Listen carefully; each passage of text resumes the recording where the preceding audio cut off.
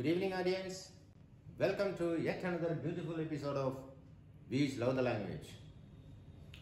Just two days ago, one of my friends called me and said he he wanted some more clarity, some more clarification on the usage of the example so. So not only that, I will give you a couple of examples more under adverbs of degree. So here we go. So, so this is the word in question. He wanted some more clarity on this. He wanted probably one or two examples also. So, quite.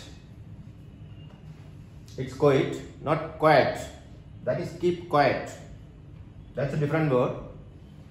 And simply. So, I am so excited to watch the next movie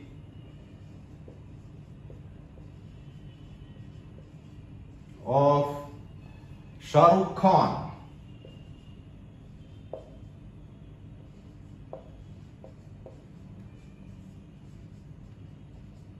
His name comes in three parts. I am so excited to watch the next movie of Shah Rukh Khan. Next is Quit.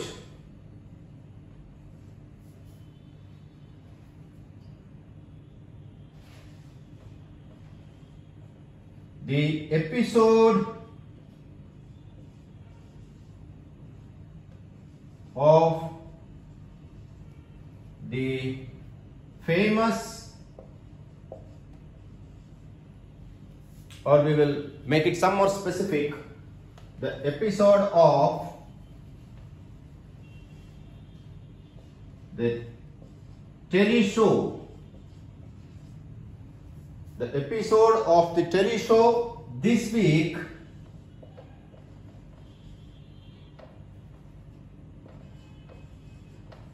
Was quite beautiful. The episode of the telly show this week was quite beautiful. Next is simply the terms the terms are written simply. In a very simplified format very very simple terms well i think my friends doubts are clear and we took a couple of examples also in addition to that here we come to the end of adverbs that's the fifth part. We started with noun, then pronoun, adjective, verb and adverb. This is the fifth part of parts of speech. The other day I was revising all my episodes, my portions. I couldn't cover the whole number of episodes but I selected a few episodes and then I was revising it. I was asserting myself whether I have laid the proper foundation to move on to the next part of parts of speech that is tense. So hopefully I convinced myself that yes we have laid the proper foundation the basic foundation to move on to the next part that is tenses. Is all whatever we have gone through plus tenses and future portions everything these are all the foundations of English language, English grammar. But then I wanted to just give you a foundation, a basic structure from where you can catch up with tenses easily. And during my initial episodes, I told you, if, if, if memory leads me right, that some of the people, some of the trainers, some of the uh, professors, they start the English grammar from the tenses.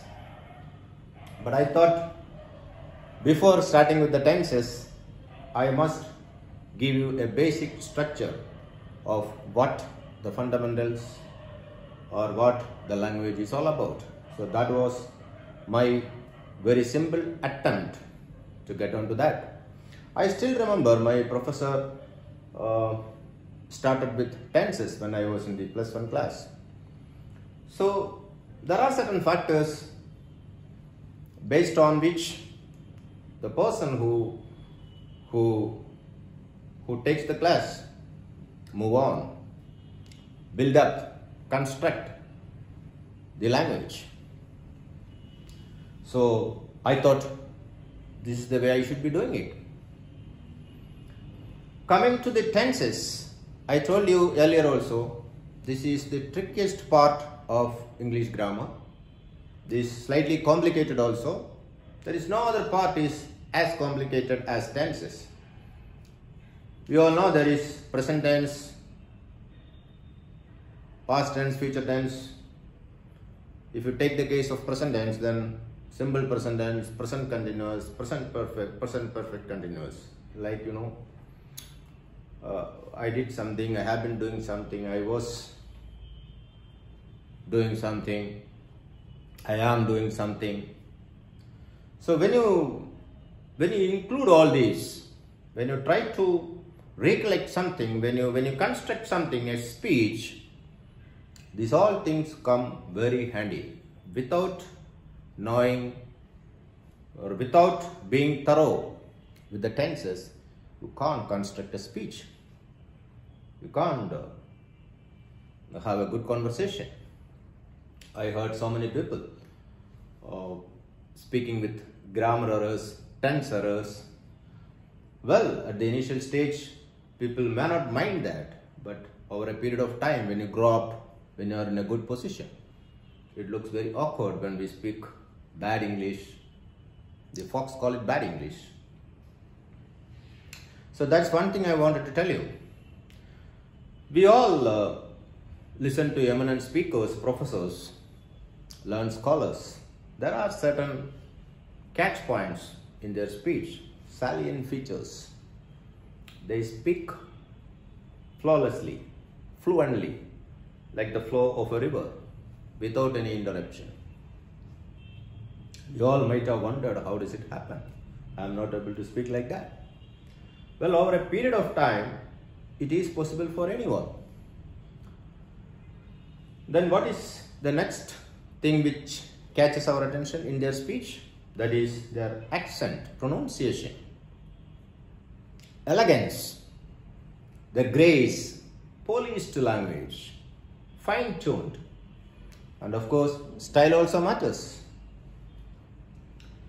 See, all these features, when blended together, there becomes a splendid speech presentation. There are people whom we worship. We wait for their channel to release. We are eager to listen to them. We all dreamed of speaking like that person. We can't obviously speak like or act like another person exactly, but we can develop our own modalities, our own style by learning tense, learning grammar. We should be very confident about the tenses. When we try to narrate something, when we try, to describe, explain something, if our tenses are not clear, the listener will not get a bright idea of what we speak. So I would say it is my personal opinion. Tense is the is the backbone of English language. Other day one of my colleagues is an outsider not from my workplace. Told me sir I watch your all programs your all episodes. I am happy that you are doing it. It's very useful. It's useful to my children and children told their classmates also and so many uh, classmates of my kids are watching your channel, their parents also watch your channel, but it is my personal opinion that if you can kindly explain it in the regional language, it would be very useful even for me also because some of the portions you you mentioned I am not able to understand. So I told him, buddy, it's not it's not a regional language program, it's it's English. The point is you you have a limitation when you use a regional language while learning or while dealing with English language. Then how many regional languages will you be using? That's one point. Second, extravaganza of regional language while learning English will badly influence your English language. In the, in the higher up, up the ladder, when you go, interviews, discussions, there is a there is a part called influence of regional language in English. So that is a negative thing. When you overly use regional language while learning English, that will eventually influence your language skill, your standard in a very bad way. So this is my personal opinion. When you learn English, learn it in English. I still remember when when I was a kid, probably fourth or fifth standard, when when I was put to English medium class. It was very difficult for all of us to pick up the lessons, whether it is English, mathematics, science, whatever.